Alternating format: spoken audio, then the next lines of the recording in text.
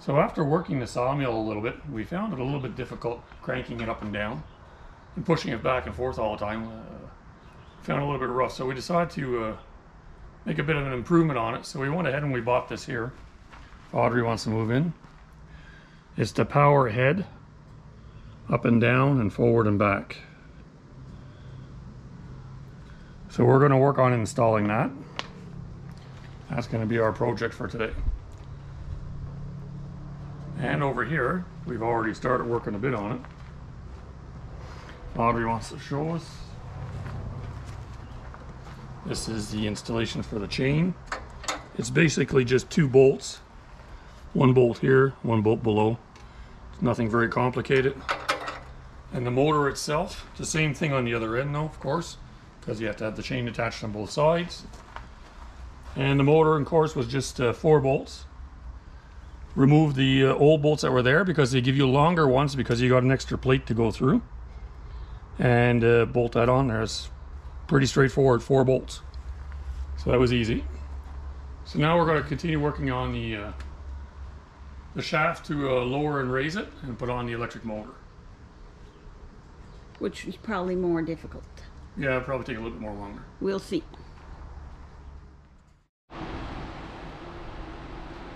removing the cables that raise and lower the head. We've already removed the covers. Now we're going to get ready to remove the bar to replace that.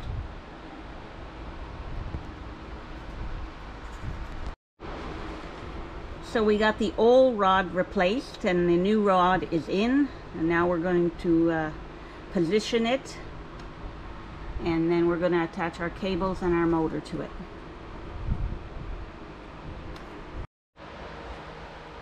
So here we got the motor and they sent the key with us.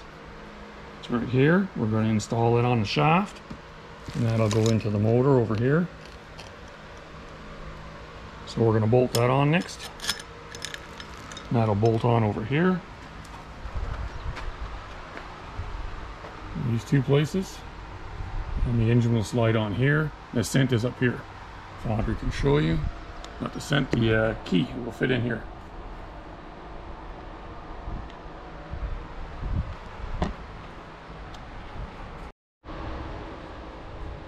Okay.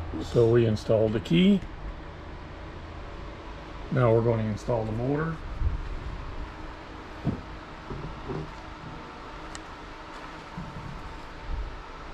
I'll turn that a little bit. Help you.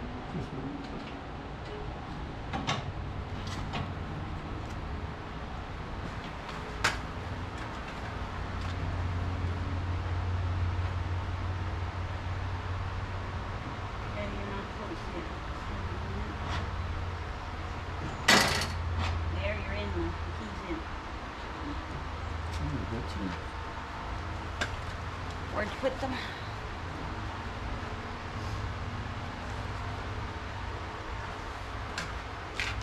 Put them from the back. Going this way. One, um. two. Well, to explain to everybody, we didn't tighten everything up there. Because everything should be, everyone move around to line it up. Okay? We're not tightening everything up And we tell everything's lined up. because we have to line everything up. Different part is because that, is there in my way.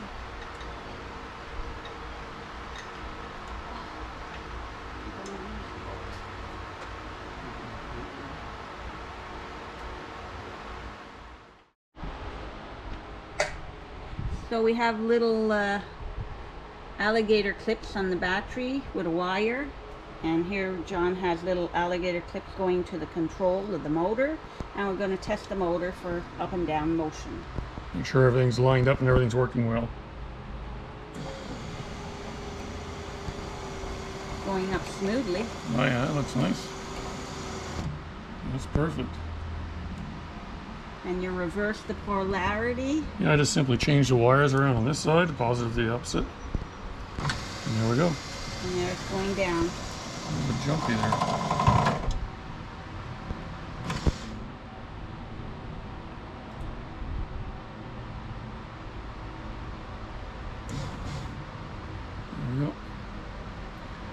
That.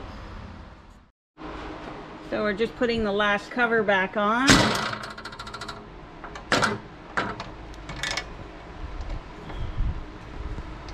We'll just hold it there. Okay.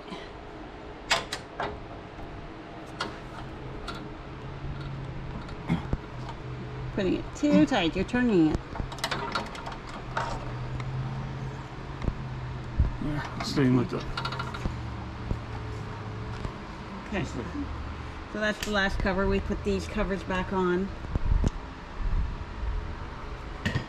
And now it's all the uh, electronics now to hook up.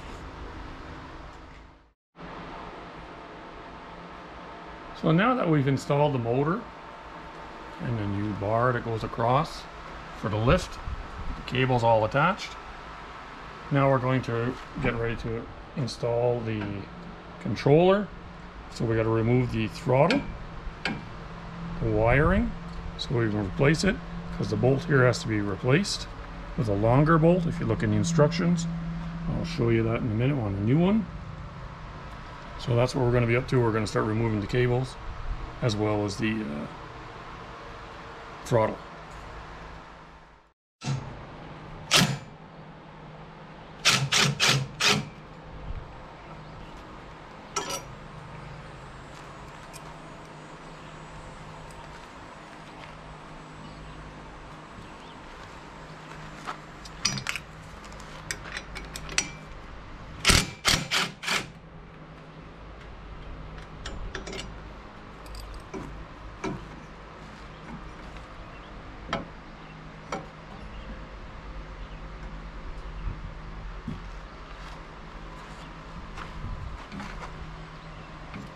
Let it.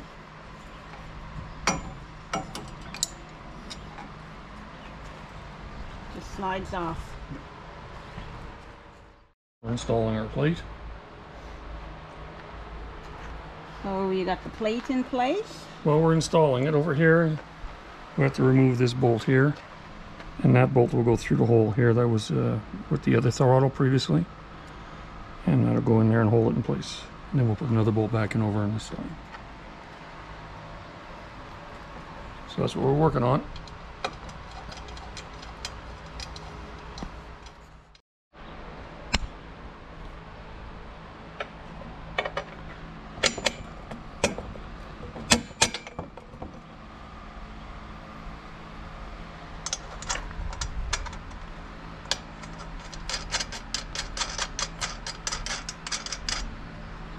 Go on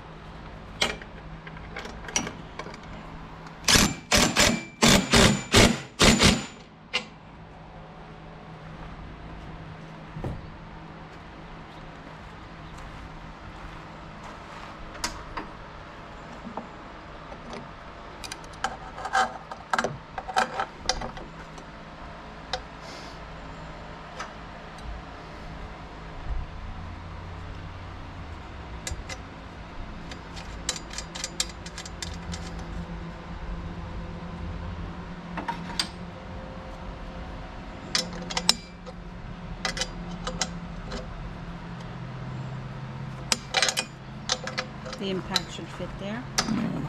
You can't tighten that too much, right? Oh no, Because it has to move. that has to move. Okay.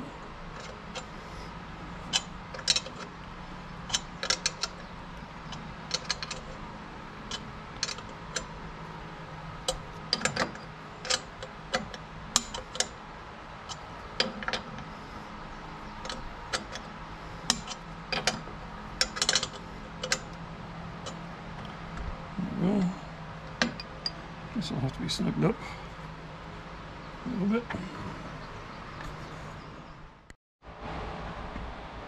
So we're working at installing this here. And as you can see up top where they want you to install it, we have a bracket on this side and nothing on this side. So I don't like that. I want it to be level. So what I'm going to do is I'm just going to shim it out with some old washers.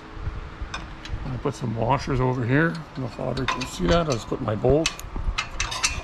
Put some washers. And now this plate here will be level with the other plate. So when I tighten it up, it's going to tighten in level.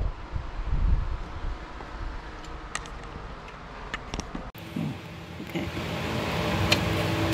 So now we'll line this up. Make sure our rope is nice and straight here, or our cable, or whatever you want it. Tighten it all down. Audrey wants to come on this side and show you.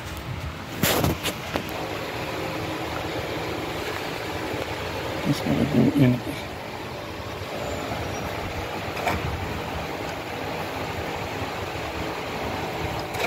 Oops. Just gonna line it up with this post here.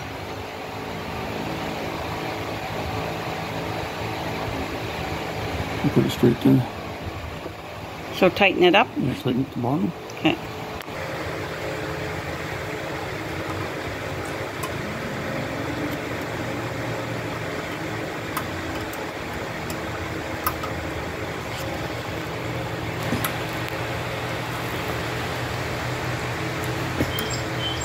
Now we'll tighten the bottom, and we'll move on to connecting everything up.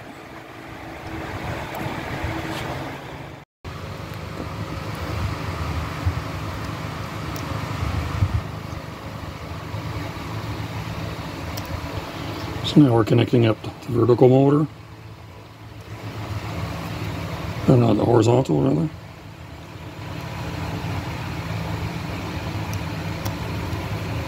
Now, once it, I test it and make sure everything works, I'll come back and I'll tape these to make sure that they don't come apart, and I'll finish securing them to the motor here nicely.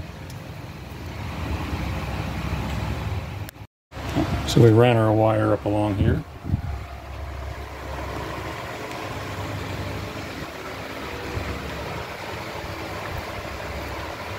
Down to the control box.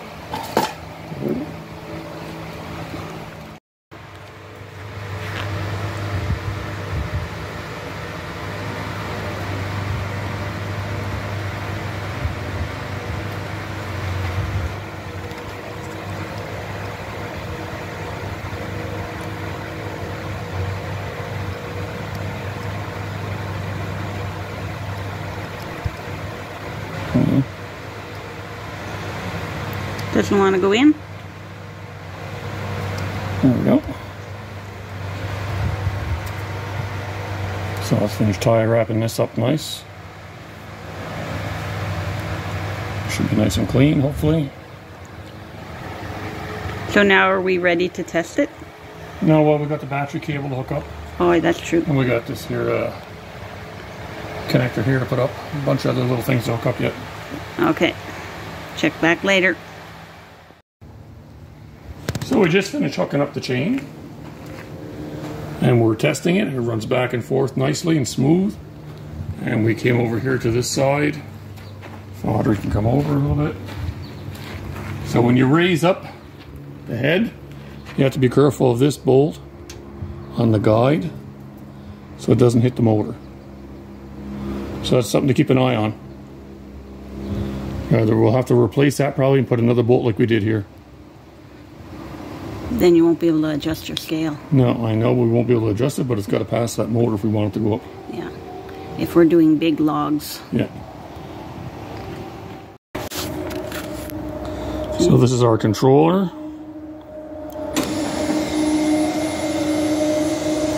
And you'll see that it's a cordless one. There's no cords. So I'm very happy about that. And we can move ahead.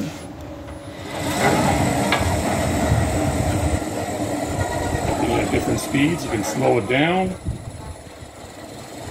as well as speed it up.